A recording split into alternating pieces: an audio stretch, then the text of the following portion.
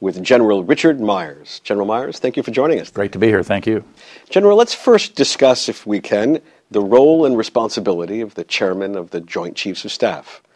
Well, the, the primary role is to be the principal advisor to the president and the National Security Council on, on military matters.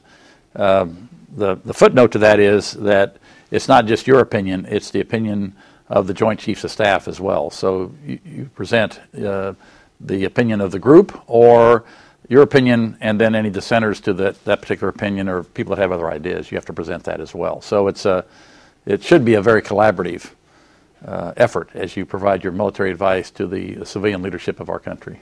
And how does someone get chosen for this position? Um, good question. Uh, but um, I think it begins with the Secretary of Defense uh, looks at the, the, senior officers that um, he or she thinks are appropriate for the position, and then working with the President uh, picks the person they think can best provide that, that military advice.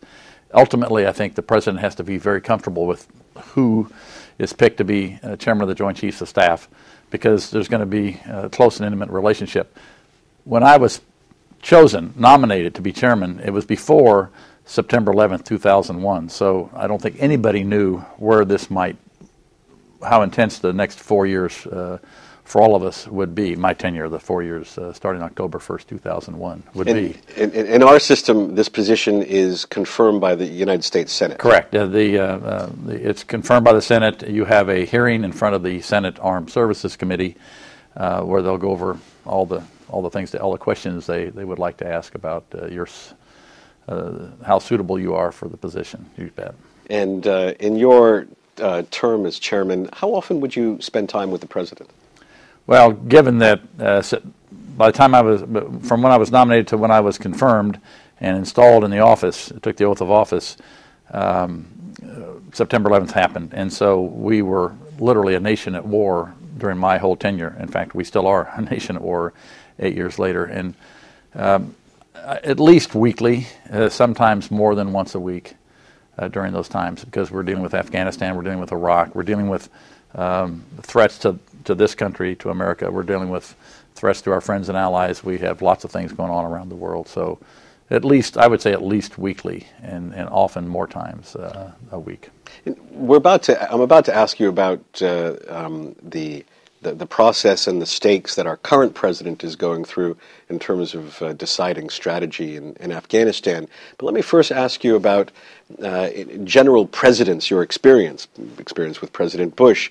Um, uh, how did they uh, take advice from um, their military officers, and how does that tend to factor into their overall strategic decision? Well, I, I, think your listeners will find it interesting. I was appointed as vice chairman of the Joint Chiefs of Staff uh, under uh, President Clinton, and then chairman under President Bush. So I had fairly close and uh, relationships with both President Clinton and, and, of course, President President Bush. And I would say that the, their approach to accepting and, and seeking military advice is very, very similar. I think every president, uh, when it comes to uh, committing the blood and treasure of this nation wants to get the best military advice they can get, and so they they're very open to that. And that doesn't mean you're not going to have debate, of course, because uh, they may have a view, or somebody on their staff may have a view at the White House would say, okay, why do you say that? Why why do you think that? And and that's very healthy. You think you want you want a lot of a lot of dialogue, but they're both. Uh, they both come at it, I think, essentially from the same way as you know when we commit our blood and treasure from this country the president will make sure he gets it right. And uh, the military advice I get, I think he gets is uh, is crucial to that. And what traditionally, in your experience, has been the relationship between the military advice from the military and the military advice from the civilian officials in the Pentagon? Well, that's that's something that, as as chairman, I think. Uh, uh, you try to work very, very carefully because when you go to a White House meeting on an important national security subject, and by the way, there's never a single meeting. These these kind of issues are worked over time, over weeks, sometimes months, sometimes years. Uh, but as you formulate your military advice, you're also working with your your boss. In the case of the chairman, that's your immediate boss is the uh, Secretary of Defense, and so and he's got a staff, he's got a policy shop, and others that are shaping uh, his uh, opinion on a particular issue and shaping that issue as well. So what you have to do is start working at the ground level in the Pentagon, working these issues. So by the time it comes to the secretary and the chairman, there may be some issues to work out, but hopefully you can come to agreement on on the way forward. So when you get to the White House, uh, the advice he's going to get from his uh, one of the senior cabinet officials, the Secretary of Defense, and the advice he gets from his principal military advisor, the chairman of the Joint Chiefs of Staff, is not divergent. It could be divergent, and uh, under Secretary Rumsfeld, he would encourage uh, encourage that. He said, if you've got a different view, if you don't agree with this, uh, he would say, if you don't agree with this, Dick, then you tell him what you think.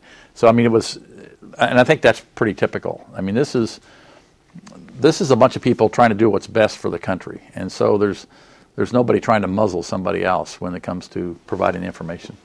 Let me ask you now, General Myers, about. Uh